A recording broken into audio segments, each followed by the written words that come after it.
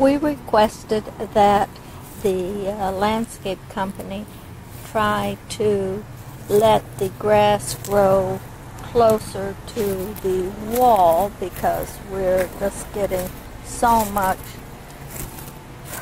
sand and dirt here where there's no grass. But they went ahead and used Roundup or whatever it is they use all along here again to kill this uh, grass and stuff.